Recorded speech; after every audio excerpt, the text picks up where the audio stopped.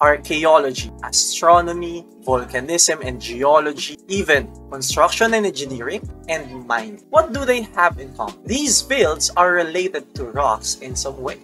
And studying these fields require you to understand the nature of rocks as well. Rocks are what formed when the molten planet Earth cooled down 4 billion years ago. From being a hell-like planet, cooling down into a rocky planet containing water as well. From magma being cooled down, now there are hundreds of varieties of rocks formed through various earth processes. And they are now categorized into three and are now recycled in the planet. What are rocks? What are its identifying characteristics? And how do we group them into three? Igneous, sedimentary, and metamorphic. That will be the topic for today in Earth and Life Science Rewind, video reviewers for Earth and Life Science.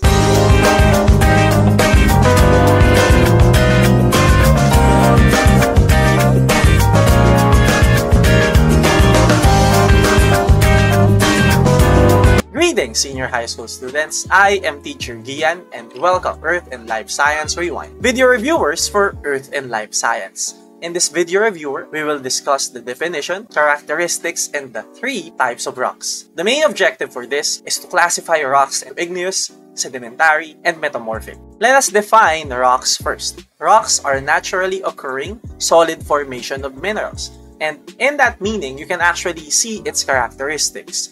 First, it's a mixture of minerals, meaning rocks are made up of two or more minerals. Next is that they can be organic or inorganic. Compared to minerals, which are only inorganic, rocks are organic and inorganic as well. So it can come from any living organism as long as it's a mixture of mineral and it's also natural and solid. So remember its characteristics from the mnemonic MONS, M-O-N-S.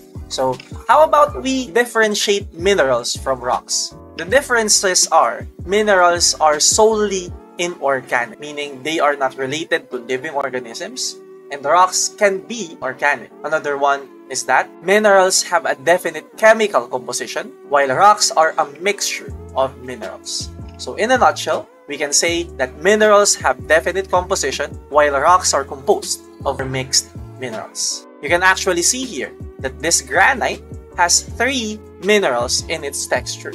Feldspar, biotite, and amphibole are minerals. So let's try to use your knowledge of characteristics of rock. Is coal a rock? Let's try. It's a mixture of minerals. It can be organic or inorganic, natural and solid. Yes, it is. How about dead corals? Dead corals are a mixture of minerals. They can be organic or inorganic. Um, actually, corals are organic because they are dead corals. They are dead living organisms. They are natural as well, naturally occurring, and they are solid. So yes, dead corals are rocks. They are actually called limestone. Rocks are generally classified by how they form. Are you from molten lava? Did you undergo heat and pressure? Are you compacted in bodies of water? Texture as well? The grain size if they are coarse or fine, and their mineral composition. But among these classifications, petrologists unanimously agree that we should classify rocks on how they are formed. Are you formed from hardened magma or lava? Are you formed by extreme heat and pressure? Are you just solid fragments of other rocks just formed together? And in that, we have the three groups of rocks. We have igneous rocks, which are products of magma and lava being cooled and crystallized. Sedimentary rocks, which are built up of fragments, grains, and sediments. Metamorphic rocks, which are other rocks that underwent extreme heat and pressure, a literal change, meaning metamorphosis, change in its form. Let's start with igneous rocks. All rocks that are igneous are formed from molten material. It can be either magma or lava. Between magma and lava, there are two kinds of igneous rocks. Intrusive meaning the magma never went out of the crust and it cooled underground. The meaning of intrusive is in the inside. Extrusive is when molten material releases outside the crust and forms as a rock. Extrusive means outside. So again, intrusive means inside the crust, it is formed Extrusive means outside. Differences between intrusive and extrusive igneous rocks is that in intrusive igneous rocks, they are cooled slowly. So being cooled slowly, they have large crystals and large particle size. Extrusive igneous rocks are usually with pores or bubbles because they are cooled quickly and they have small particle size. Examples of intrusive rocks are pegmatite, gabbro, and granite. You can see that they have large crystals and large particles. And extrusive rocks are these, pumice, basalt, obsidian, and andesite. You can see that they have pores, you know, little holes in there, and they have smaller size of particles. So let us name some igneous rocks and their uses and significance in society. Basalt and gabbro were used as primitive tools in the past. Gabbro and basalt can also be construction material. Granite can be used as construction material for monuments, and obsidian can be used as volcanic glass decorations. Actually, obsidian is an attractive kind of igneous rock. Pumice, and it can be used as your scrubbing rock, pegmatite can be used as ore for metals. You can see the metals there in pegmatite. So how about sedimentary rocks? From the word sediment, sedimentary rocks are formed through compacting and cementing. So they are compacted as they settled in layers in bodies of water. So they are formed when they are fragmented through weathering and they form layers as they settle down in the bottoms of lakes and oceans. With that, the deposited sediments gather weight. They become heavier and they squeeze themselves together until they become compacted and formed into rocks once again. Sedimentary rocks can be classified into three. Clastic, meaning the accumulation of those sediments and fragments. Organic, meaning it's related to organic living organisms. And chemical, meaning they are formation of chemical substances on the bottom of layers of water bodies. Examples of clastic sedimentary rocks are shale, which are made of sediments very small, clay, and silt. Conglomerate, which are made of large sediments and pebbles. And sandstone, which are made of medium sediment, you know, like sand. Shale can be used as bricks in, in construction, and sandstone can be used as decorations and sculptures. Conglomerate can be used as building material, just like shale. Examples of organic sedimentary rocks can be chalk or calcium carbonate. Chalk is what formed when marine fossils are weathered down into small bits. So you can actually find chalk in fossils of marine animals. Coal is an accumulation of buried plant fossils. Believe it or not, the coal that we use for fuel was actually compacted plants and other organic matter. Examples of chemical sedimentary rocks are limestone, mentioned earlier as organic. Limestone can also be chemical because it's definite in its chemical composition. The calcium carbonate can be used in many things, sugar refining, construction, and even manufacturing.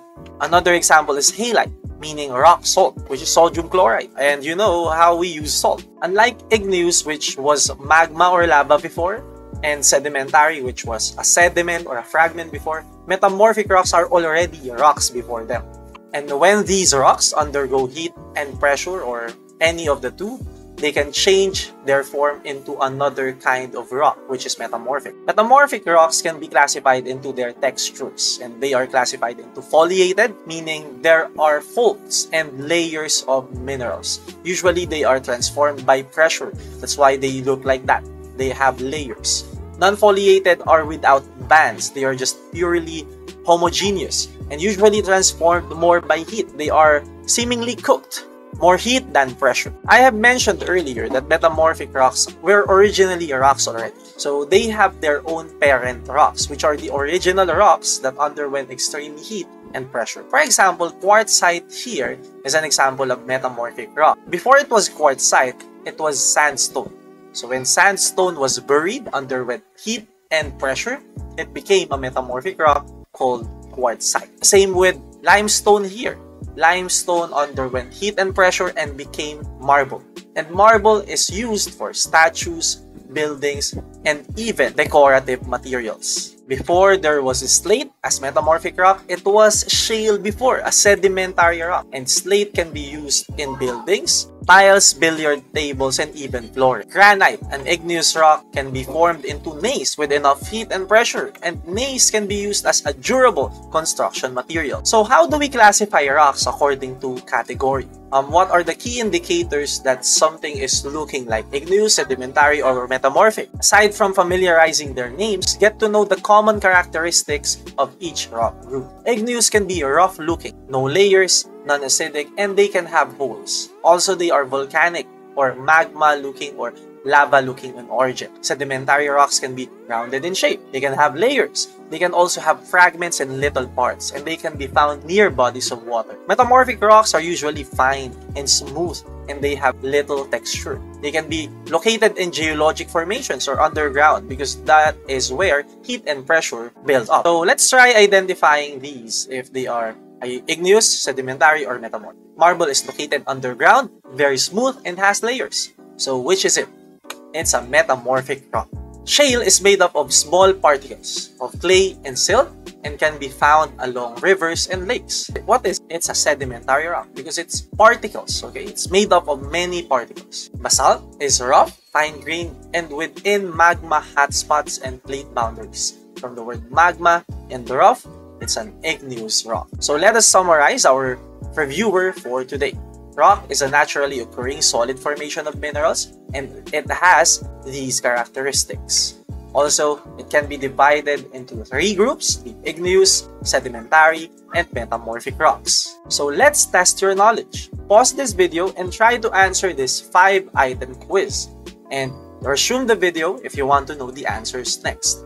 Video resumes in 5, 4, 3, 2, 1. Here are the answers for the Test Your Knowledge part. Thank you for watching this video reviewer and I hope that you have refreshed your lessons on this episode, the three kinds of rocks and their properties. I am teacher Giandel Atalia and see you next time on the next Earth and Life Science Rewind. Video reviewers for Earth and Life Science.